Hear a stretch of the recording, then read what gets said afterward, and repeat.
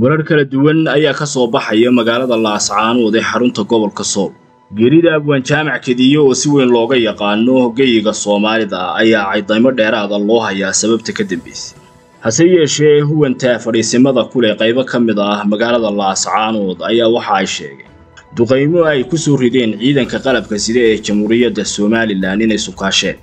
gobolka sool ayaa waxaa ka socday shirqoollo isdaba jooga oo laysku nacsiinayo dadka deegaankaasi iyo somalilan kuwaasi oo ay iska kaashanayeen xulufada bariga sool ee lixdii bilood ee ugu dambaysay ku halgamayay inay halkaa ciidanka qaranka ka saaraan. Iyo maamul goboleedka puntland oo isaguna hunguri ka qaba gobolkaasi mar uun inuu gacantiisa ku soo noqdo. Warbixinteennan ayaynu ku soo koobaynaa geerida abwaanka iyo sababta ka dambaysay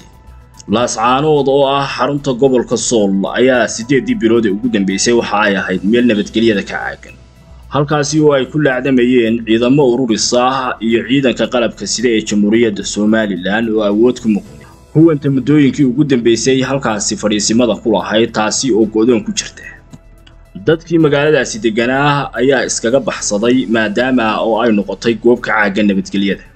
tanina waxaa ka horreeyey shirqoollo iyo sida oo kale dilal siyaasadaysan oo laga fulinayay magaaladaasi gudaheeda kuwaasi oo dadka deegaanka iyo laysku nacsiinayay somalilan oo deegaankaasi uu ka tirsan yahay.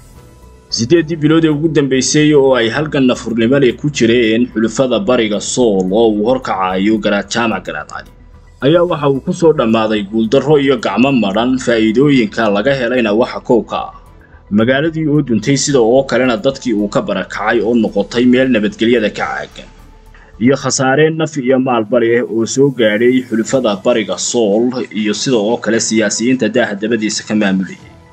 halgankooduna waxa uu ku soo ururay baraha bulshada oo keliya kuwaasi oo lagu siinayay lacago dheeraad ah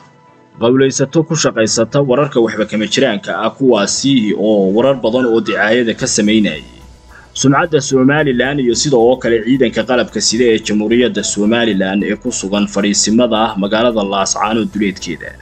Markii ay soo baxeen wararka sheegaya geerida abwaanka iyo inay sunkaalatay duqayn ciidanka qalabka sida ee jamhuuriyadda somalilan ay sameeyeen. Ayaa warbaahinta xugugaal waxa ay la xidhiidhay saraakiil sarsare oo ka tirsan ciidanka qalabka sida ee jamhuuriyadda somalilan kuna sugan magaalada laascaanood ee xarunta gobolka sool waxaana ay noo xaqiijiyeen inaanay iyagu gacanqaad samayn haddii aanay huwanta magaalada laascaanood soo food saaray sida oo kalena aanay jirin saacadihii ugu dambeeyey duqayn ay ku sameeyeen magaalada laascaanood ee xarunta gobolka sool shirqoolka iyo wararka dhanxiirka ah ee baraha bulshada sida weyn loogu faafiyey ayaa ah sidaasi ku noqonaya waxba kama jiraan.